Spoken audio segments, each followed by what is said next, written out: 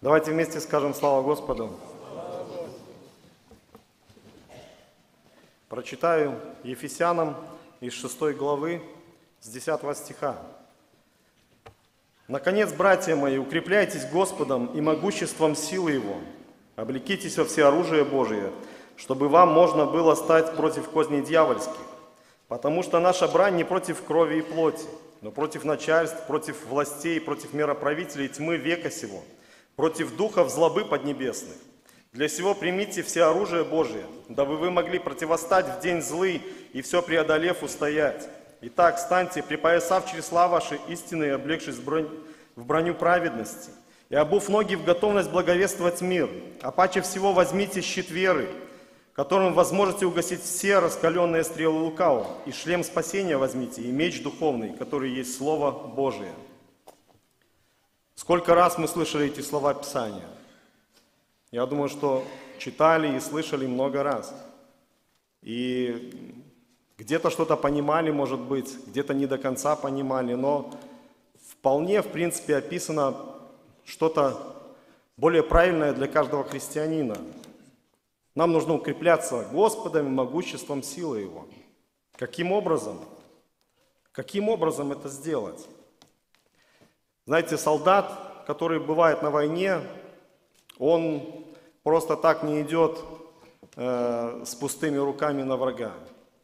У него есть амуниция, защитная форма. Это сегодняшний солдат, у него есть оружие. И порой это оружие его не спасает. В то время солдаты выглядели немножко по-другому. Была броня на человеке, металл, который он носил на себе, тяжесть металла, шлем, щит, меч, еще различные другие приспособления. И этим всем нужно было умело солдату пользоваться. Потому что если каждого из нас сейчас вооружить чем-либо, я думаю, мы не будем уметь этим пользоваться. Это, чтобы чем-то уметь пользоваться, нужно этому научиться. И каждое государство, в котором есть войска, они постоянно обучают людей военному ремеслу. И это военное ремесло Кому-то дается, кому-то не очень. И это ремесло как бы такое не очень хорошее. Людей учат убивать других людей. Ну, солдат обучают и говорят, что вы будете защищать свою страну, свою родину, свою семью. Но порой бывает все наоборот. Государство идет на государство, конфликты случаются в мире, случаются войны. Здесь говорится, что нам нужно облегтись во все оружие Божье. Что за такое вот всеоружие Божье, чтобы нам можно было противо, противостать против козней дьявольских. Знаете, в оригинальном тексте написано, чтобы э, устоять против нападений дьявола. Ну, мы часто, как люди, мы часто любим кого-то винить. Вот что-то случается, и как бы мы пытаемся кого-то обвинить, что у меня случилось. В частности, верующие люди часто обвиняют дьявола в своих неудачах, что вот это все дьявол помешал. Не всегда так бывает, но дьявол бывает такое, что нападает на нас и немало. И нападает он на нас не просто как-то там в каких-то таких, может быть, простых ситуациях, по-разному. Зло, оно постоянно трансформируется и меняется.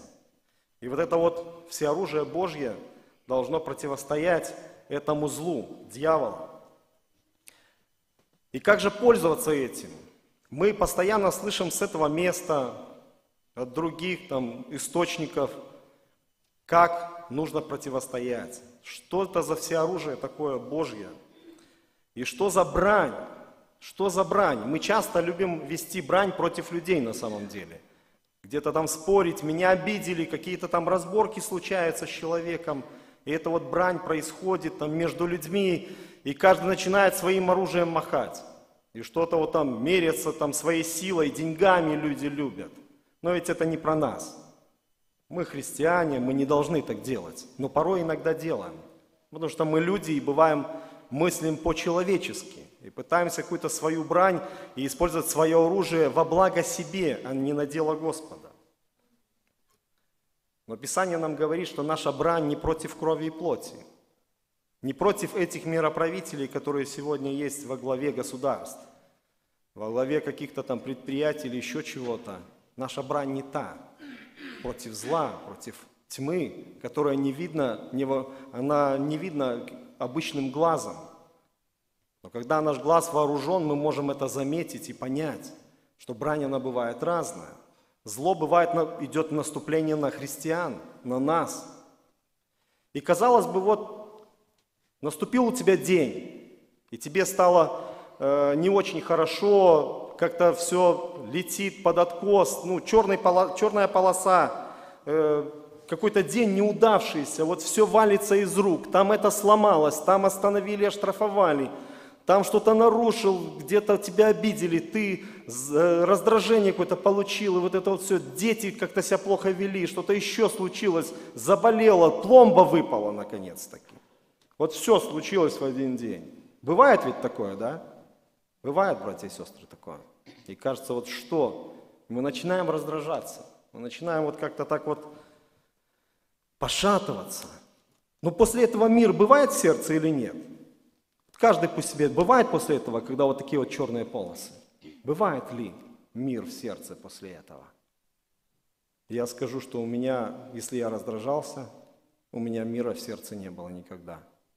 И как-то ты потом просишь у Господа, Господи, прости меня, я не выстоял в день искушения.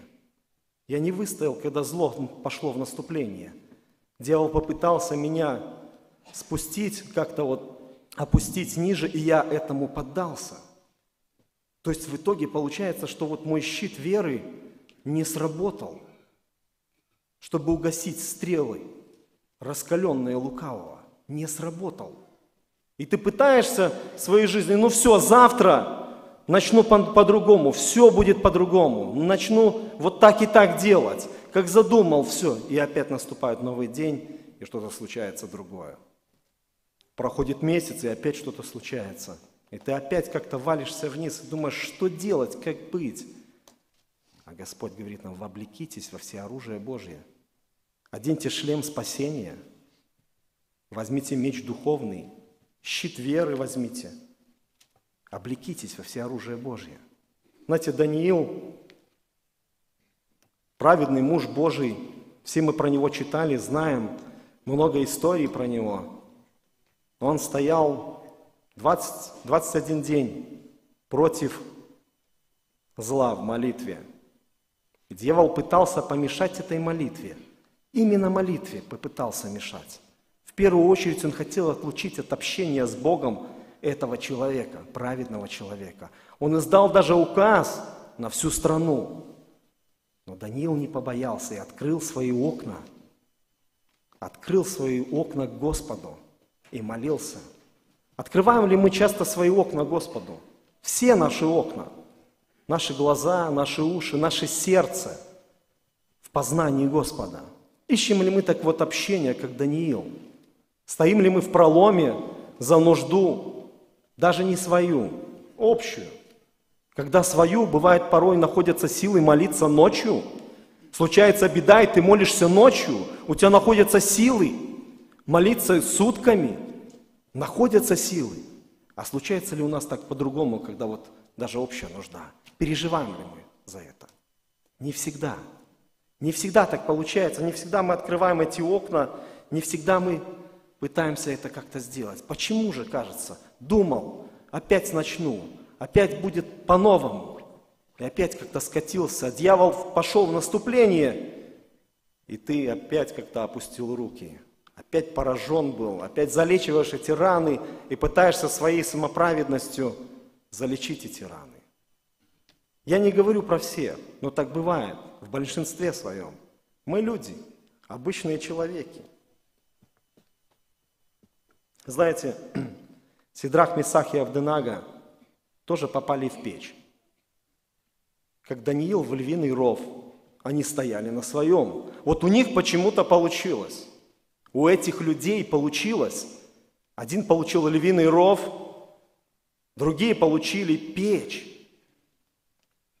И были во всеоружии Божьем. Хочется ли нам в печь? Или, может, в львиный ров?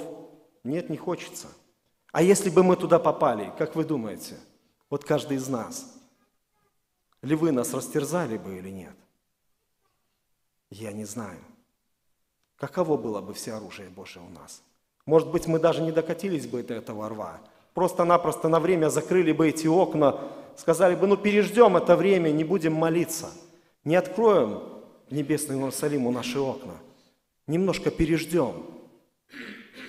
Может, так могло бы случиться. Но эти мужи стояли во всеоружии Божьем.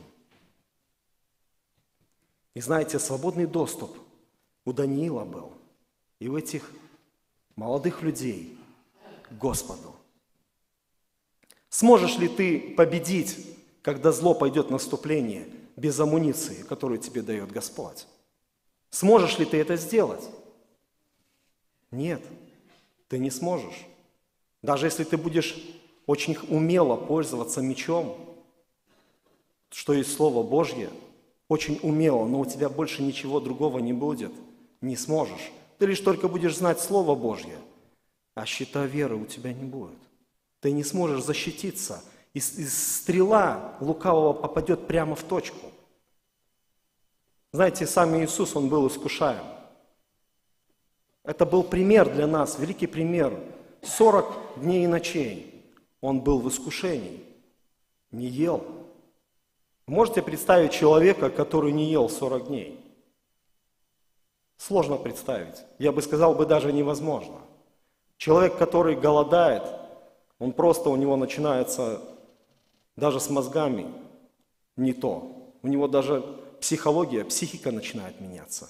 Потому что организм требует еды, человеку становится плохо. Но Иисус нам показал, что даже на пределе человеческих возможностей можно выстоять и не впасть в искушение, как, когда зло наступает, наступает на тебя. Знаете, Давид, Давид, он, когда пришел на войну и увидел Голиафа, очень удивился.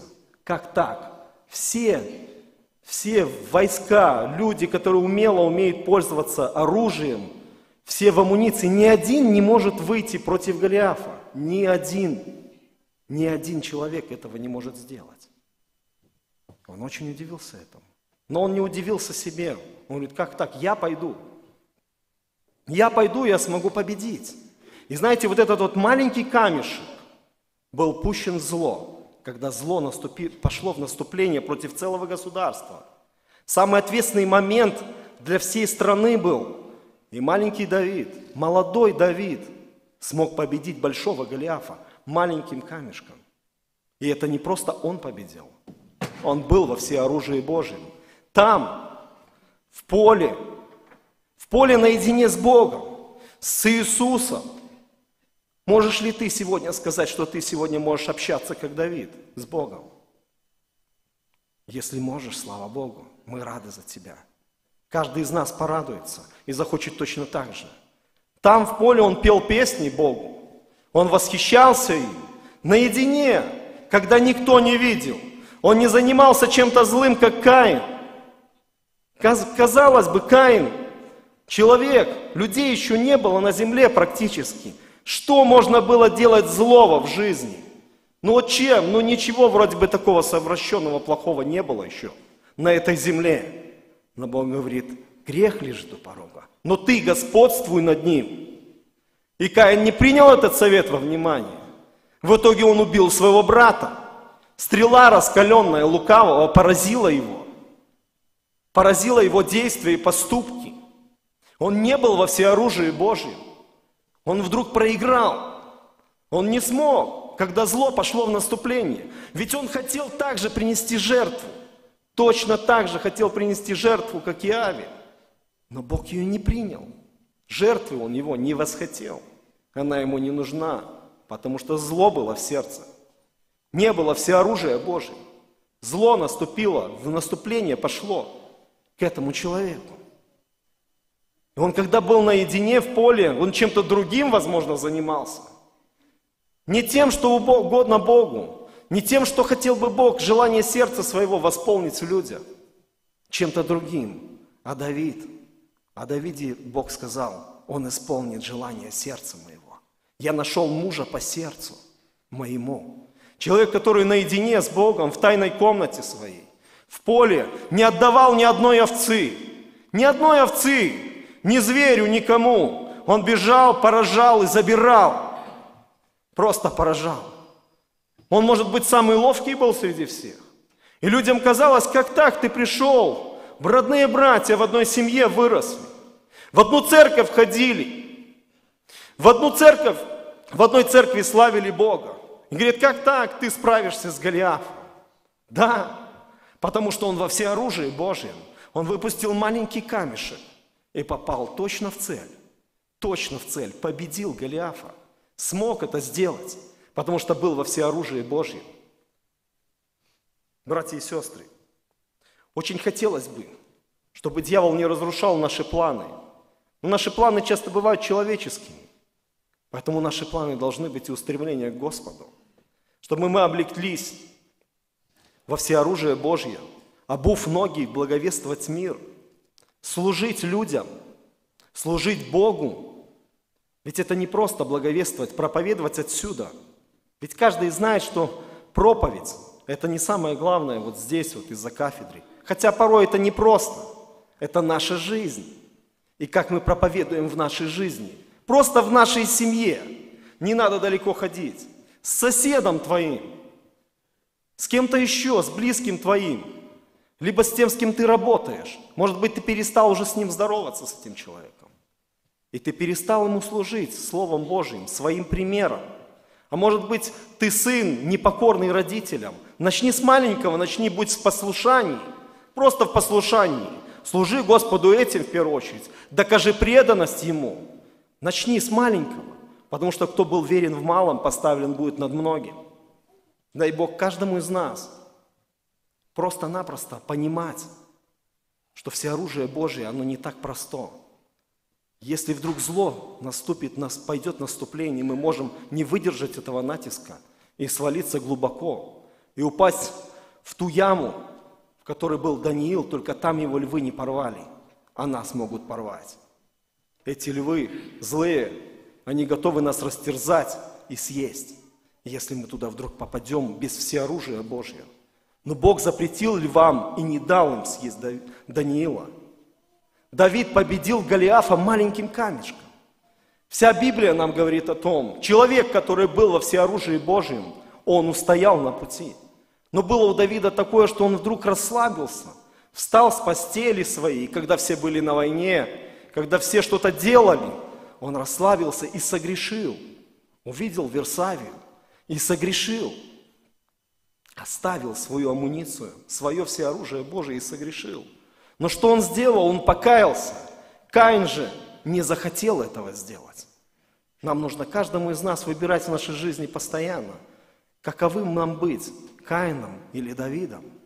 Каковой дух у нас должен быть, дух Саула или дух Давида.